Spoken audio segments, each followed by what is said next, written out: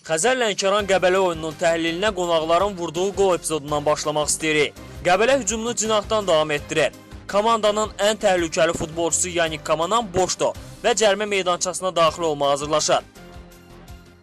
Aydın məsələdir ki, top cərimə meydançasına göndəriləcək.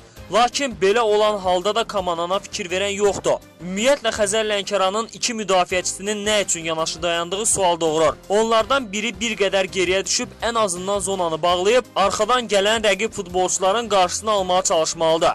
Ötürmə verilir. Todorov irəli addım atıb topu ayaqla uzaqlaşdırmaq əvəzinə başla oynamaq qərarına gəlir və səhvi yol verir. Onun səhvi qolla nəticələnir.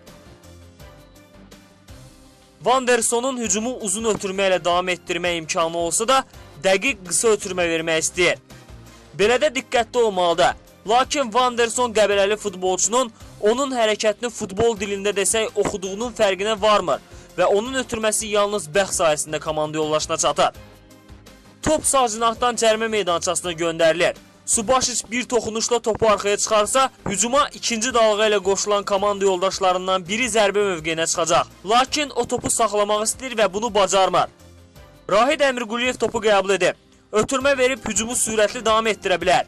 Lakin özü irəliləyir. Adrian Piti ötürmə verməyə variantı hələ də mövcuddur. Lakin Rahid dəqiq qısa ötürmə vermək əvəzinə hücumu cinaha çevirmək qərarına gəlir və topu itirir. Top Rahid Əmirquliyev istiqamətinə göndərilir. Subaşiç hücumçu kimi Rahidin topu hara göndərəcəyini ehtimal edib təxminən həmin zonaya hərəkət etməlidir. Lakin belə olmur və hücum qapanır.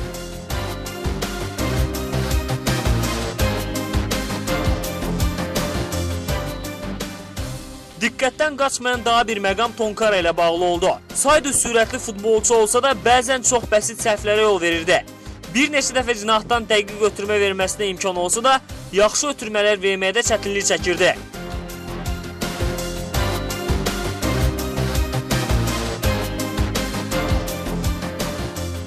Oyunun müqəddəratını dəyişən məqamlardan biri də gənc Ağbala Ramazanovun meydana girməsi oldu. Komandasına penalti qazandıran Ağabala sona qədər rəqib müdafiəçiləri təzyiq altında saxladı.